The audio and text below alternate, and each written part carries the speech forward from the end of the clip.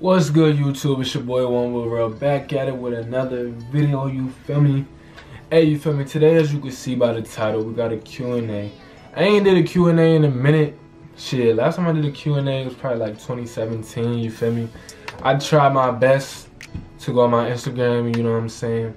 Have people comment Q&As and, I mean, questions and shit so I can answer them. So I'm just go through them, you feel me? Make sure this is your first time watching. And if you have been watching and haven't subscribed, yeah, make sure y'all go hit. Oh, god damn. Make sure y'all go hit that subscribe button. Hit the notification bell so you know when you post. When I when I post. My bad.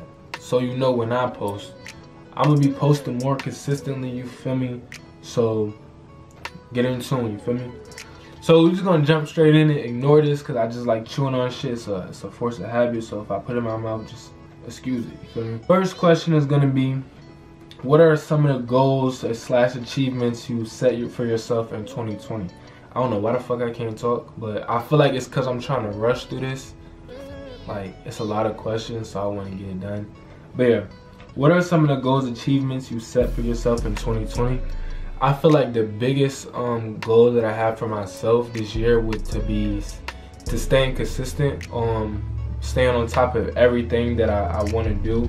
Um, like now, I kind of shifted my mindset to really focus more so on one thing. Um, like before, I was doing music and YouTube and getting more focused on music and less focused on YouTube. So I feel like I kind of want to like still do music, but like direct my main focus to be towards YouTube. Um, as far as achievements and stuff I want to accomplish, um, I don't really, I haven't really set anything, but I feel as though like money wise, financial wise, is some like a personal type of goal that I've set for myself to just be more financially stable and, and financially responsible. Um, next question is, ever think you'll come back to Virginia as in living here again? So those of you who don't know, um, I'm from I'm from Connecticut and Virginia. It's kind of weird, but I've lived in Virginia most of the time. Um, so I guess you could say I'm from Virginia. I recently moved in like May or something, and I've been in Connecticut ever since. I I know for a fact I'm not moving back to Virginia, um, but I definitely will visit all the time. I'm actually going there in a couple weeks. Um, but as far as moving back, it's different circumstances now, so it will kind of be impossible and kind of like messed up if I move back to Virginia. So yeah, so I'm not moving back. What has been the most eye-opening experience for you? The most eye-opening experience for me in my life would probably have to be like moving out. Um, when I was what 18, I had to move out of the house and I had to get my own crib. So just the whole experience of having to wake up every day and put a roof over your own head and like you constantly gotta go to work, constantly gotta go to work, get up. That's the same routine, paying bills, all that type of stuff. Like that's definitely, definitely like the biggest eye opener just to see how that process worked. And that ended up being like a whole other type of situation where, goddamn, I had to go through a lot of stuff um, in that situation to really understand life. Like I was involved with a whole lot of shit. So that's definitely most eye-opening experience for me that I've dealt with in my life would be moving out and entering the real world for the first time. Fresh out of high school too. Who's your favorite sister? How's life? And are you going to be more active? Um, I don't have a favorite sister. Those you, y'all don't know, but I have a few different, for me, sisters in my life. I don't have a favorite sister. I don't believe in favorites. Um, life, it could be, it's okay. It could be better. Life, it could always be better. Um, I feel as though like you should never really get too comfortable with life.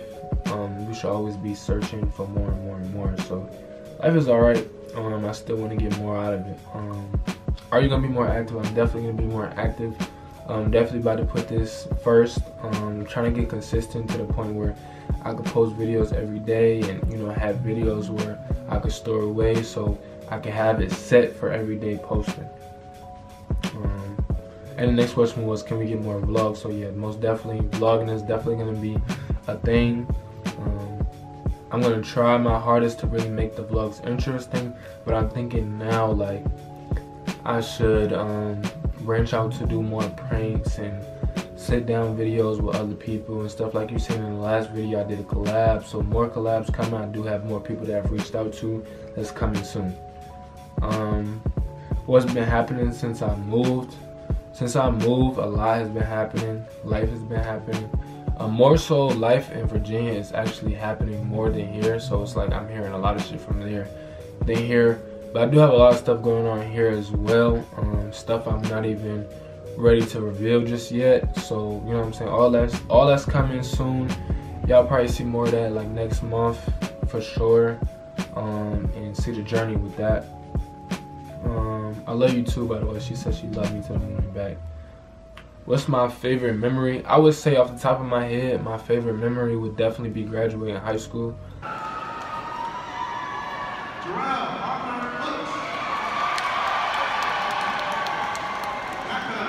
Um, graduating high school, that was just definitely like an eventful day, filled with like mad emotions, more so happy than anything. Um, that was just a time where everything just went right. Uh, like I just, even though shit was happening, like I just didn't even let shit affect me. Like it was just, it was just a good day. You feel me?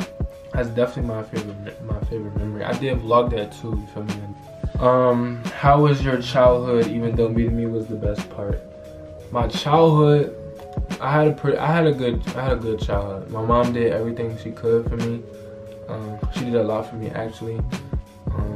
I tended to drift off to my own situations and get myself in on my own stuff. My childhood for the most part was pretty good. I was pretty like my mom was kind of strict, so like the littlest stuff I would get beat for, but for the most part, my mom like she really did make sure I had a good childhood, and I thank her for that for real, for real, for real. What are your favorite foods? My favorite, my all-time top tier favorite food is definitely hot wings. I that's my go-to. Anytime I go out, it's definitely always hot wings. Like it don't never get no better than hot wings, especially in Virginia, bro. There's this place called America's Best, and they got these 24 karat gold wings. Shit's bust, bust. How much do you enjoy riding those dirt bikes and ATVs? Um, dirt bikes is like really like. Well, when I was five, shit. Even before I was five, my stepdad had a motorcycle, and I just remember watching him. And he used to wheelie and stuff. I just remember watching him on a motorcycle, and just it felt like, to me as a kid, it just felt like free. Like it was just, you feel me? Like it was just so fun to just watch. Like so, just imagine like how it felt to ride. And then when I turned five, my dad, I came up here to Connecticut. He bought me a pocket bike. So ever since then, like you feel me, it's just been love, like for that. Then he bought me a four wheeler. Like it's crazy. Like you feel me? I even got like a dirt bike um chain. I'm about to get my sleeve tatted too with some dirt bike shit. I really gotta get back into that, but you know what I'm saying? Life just happened, so I'm just trying to be patient. You know what I'm saying? But I really do love that shit. Like it's really like it's like really like uh, a crackhead like having crack. Like that's how much it is. How many bodies you got? How many bodies I got? I'm gonna say I got six. I feel like I feel like it's just childish to like really like ask that question and to like really keep track of that. You know what I mean? I'm not saying like it's OD or nothing, but I just feel like it's kind of like like why even do that? But I mean, some people some people care. When did you lose your virginity and what was it like? Um, I lost my virginity in ninth grade. I was 15. I was here actually, and like it's crazy because my dad asked me like two, three days before if I was still a virgin. I told him yeah, and then like it's crazy. Like I just lost it like a few days after. Well, it was pretty horrible. It was pretty bad experience, only because of me, because I ain't like I really ain't really know for real what I was doing. And then on top of that, I didn't want to have sex in my bed because my brother like used to sleep in my bed, so it was like I didn't want to be disrespectful, so it was in the bathroom. But it was really weird, but honestly, it was pretty terrible. I'm not even gonna hold you like it was pretty bad.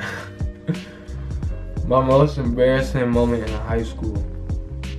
My most embarrassing moment in high school, um, I don't even know.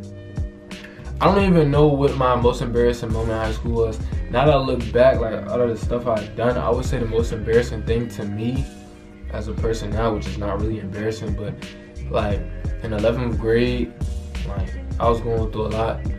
So like it was this nigga like like my niggas didn't fuck with him. I ain't really had no beef with him, but you know how it go when your friend beef with somebody, y'all all beef because y'all all click up. You feel me? But he started carrying me, so I ain't like that shit. So then it became my beef. But ended up one day, I was walking with Tommy and I, I bumped him. Like he was just talking mad shit. So like a couple of days later, I was having a real bad day. Like I was, my day was going terrible. Like so, I told my mom pick me up. My mom was like, no, just stay in school. Then I told my favorite teacher, I'm like, yo, I need to talk. Something going on. Like you feel me? I just already knew. So ended up going to lunch. I won't talk to nobody. And then some girls started fighting. And then I was just sitting there chilling. I wasn't even too impressed with that shit. So the nigga, like, I'm watching him walk in front of me the whole trip. And then he get to this point, and then like he say something to me, and I just said, "What's up?" I said it twice. Nigga never put his guard up, and I just remember hitting him. But it was just like in the moment, cause I was young, it was like, damn, like I really just like you feel me. Fought, I beat that nigga ass, whatever the case may be. It is what it is. But now I think about it, like damn, like that was kind of embarrassing because I had to go to the administrative and they didn't think I initiated the fight. They didn't think it was me. So I had to tell them like, they was like, we're gonna try to get you just five days if we can not get you any. Um, cause we know you didn't initiate the fight. The whole time I really did. So just seeing the face of like my principal was like, damn, that's you know what I mean. I felt good at that moment, but now I think about it, I didn't really feel. That was kind of embarrassing to just be in that situation because now I, I calm down a lot. So, you feel me? I mean, niggas, you know what I'm saying? You did shit, whatever the case may be. When was your first heartbreak? My first heartbreak was in, I want to say I was a sophomore or a freshman. Um, dating this girl who was dating for like two and a half years. Um, it wasn't, it's not, it wasn't a real terrible relationship, but like she just did stuff in the midst of our relationship that just kind of like, like as a man made me feel lesser. Um, like even though I was so young, like it still like from that moment on it carried like cause I was never like no, no real hardcore or player or whatever the case may be. I really was fucking with her. So she moved away, and then I just remember one time I called her and some nigga answered her phone. It was just asking who it was, and like I was just fucked up. Like that was like the first time, that was the first heartbreak I ever had for real, for real. Yeah, I carried that shit a lot. Mm. Are you dating anyone? What's your favorite thing to do and who inspires your music? Am I dating anyone? I don't want to touch too much on the topic.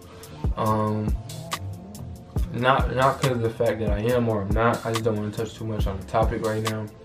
Um, what's your favorite thing to do? My favorite thing would definitely be riding dirt bikes. Uh, definitely my favorite thing to do in music.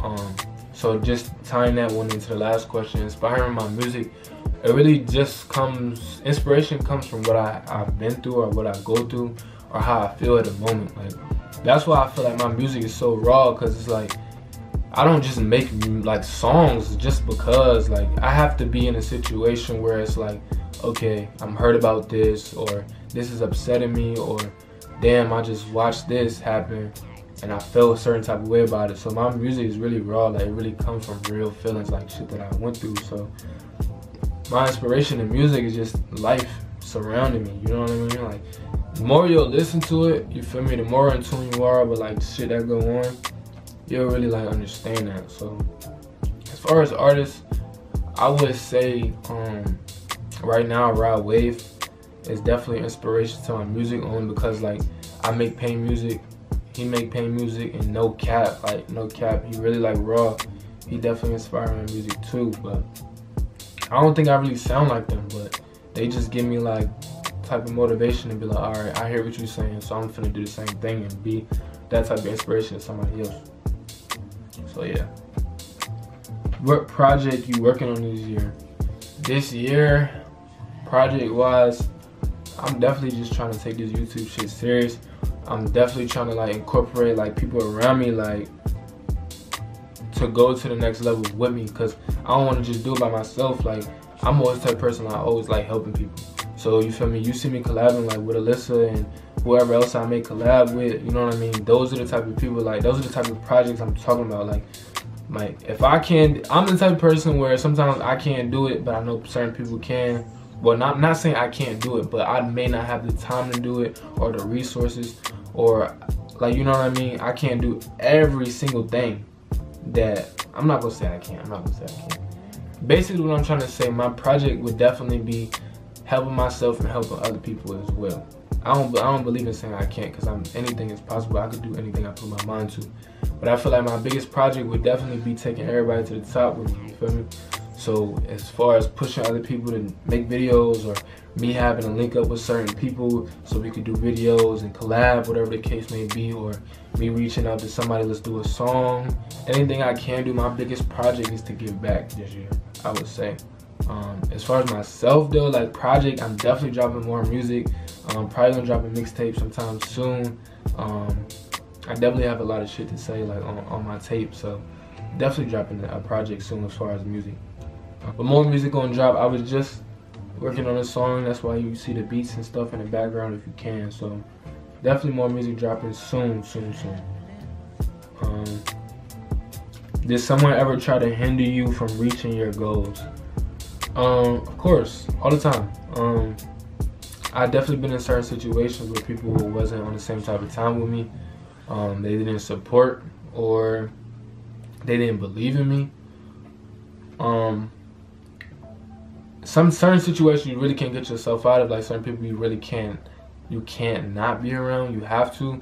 Um, but I just feel like you know everything I had to go through my life definitely instilled um, self confidence in me um, determination and a drive to just you know get out of that like get away from people hindering me get away from negative thoughts and doubts and just really made me branch out and do my own stuff. Like right like when i really first started doing youtube it was so much shit like going on that really was just like don't do that like i don't support you doing that but i did it anyway you feel me? And i actually was doing good when i first started off. So you know what i mean? It's just all about fight like it, you get what you want out of life you feel me so that's, you know what I mean? When shit be hindering me and has hindered me, I just keep moving forward. Like, that's all you can do. Um, would you rather be a model or a photographer? That's a hard question. I think personally, I would rather be a photographer only because I like creating. So like watching a piece come to life, like watching, like watch, like having somebody and then creating something from them, I feel like it's a good experience because everybody can't see what you see. So the one time where people don't understand you or don't get what you're saying or cannot see where you're coming from, a photo like a photo, doing photography at a time where you can allow people to see what you're doing and they have to really accept that like you know what i mean? Like this is what i'm seeing from my eye view. This is what i want to capture. Look at this. You feel me? Pay attention to this like this is what I this is what I'm saying. You know what I mean? I'm you feeling where I'm coming from now because you're looking at it. You know. So I definitely would rather be a photographer. I do like modeling. Though I like being behind the camera. Um, but then again, it's like damn, people don't know really how to capture the type of image I want. You know, it's hard to really tell somebody your image, but certain people do. Definitely rather be a photographer though. Why you think you act the way you do? Now this came from Liz, which is my best friend the way I act, as far as probably what you talking about, as far as like the kind of person I am, I act the way I do is because, like I said, all the shit I've been through, um, how my mom raised me, the situation and circumstances that I was raised in. Um, you everybody acts the way they do because of the situations they they grew up in. You know what I mean? Believe it or not, you know what I mean? You could you could always be one way but change your mind to be something else. You could change yourself to be something else. But me personally, I'm definitely the way I am because of like the shit that I was involved in, the life I grew up in.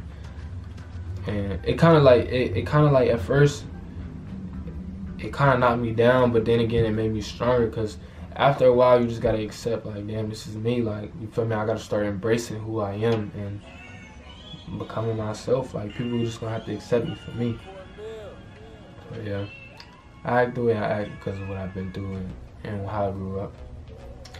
Biggest goal for 2020, I answered that one. I didn't even realize this is the last question. When are you coming back to Virginia? I know a lot of my viewers probably follow me from Virginia. They'll probably watch my shit. Coming back to Virginia on February. I'm not gonna release the date, but I'm coming back next month. I'm trying to get all my ducks in a row for right now. So when I go there, I can get there smooth. I can have bread. I can do whatever. You feel me? Coming there very, very, very soon. Like sooner than soon. But yeah.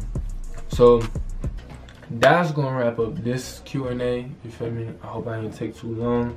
Cause I know some people get bored like watching answering questions. Some people y'all really really fuck with it. But that's just why like you feel me, I need people to comment um and like get more active so I can know what you want to see. You feel me? I got some pranks coming soon, most definitely. I got some collabs, I got some funny ass videos, I've got vlogs. You feel me? I'm just trying to get more consistent with it. Um, get these videos to uploaded and, and just entertain and just carry good energy to y'all. You feel me? So with that being said, you feel me?